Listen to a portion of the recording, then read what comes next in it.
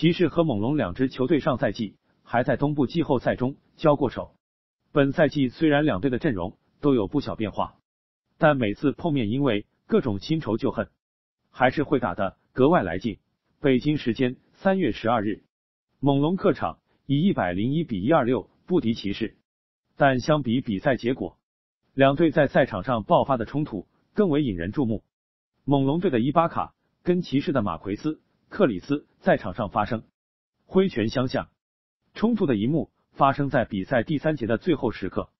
猛龙布置了一个后场长传到前场的战术，负责接球的伊巴卡与克里斯在骑士三秒区附近角力，双方相互拉扯，胳膊纠缠在一起，都有不少小动作。伊巴卡在起跳想要拿球的时候，身体失去了平衡，不仅球没接到，人也摔在了地板上。看到这样一幕，克里斯对着坐在地上的伊巴卡喷了几句垃圾话，而伊巴卡也没等队友跑过来把自己拉起来，爬起来就直接朝着克里斯过去，一双大手直接掐着克里斯的脖子，把他朝一边推去。克里斯显然是毫无准备，加上背对伊巴卡。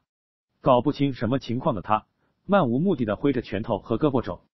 反观伊巴卡，因为一直控制着克里斯，在把他推到篮架附近后，腾出右手就是一个直拳打了过去。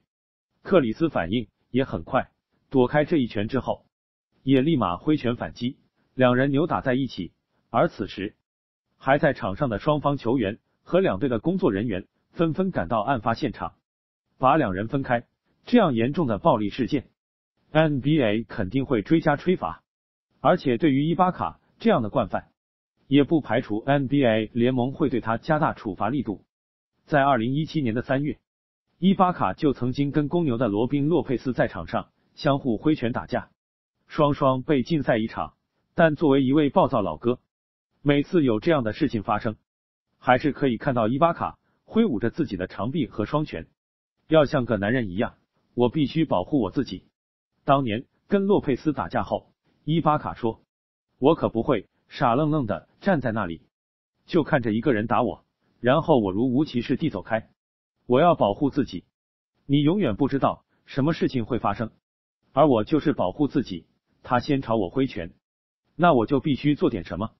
NBA 赛场上都是血气方刚的男儿，打到激烈，头脑发热也在所难免。”但是相比每次都暴躁的伊巴卡，上图里笑对拳头的巴恩斯，两人的段位不言而喻了。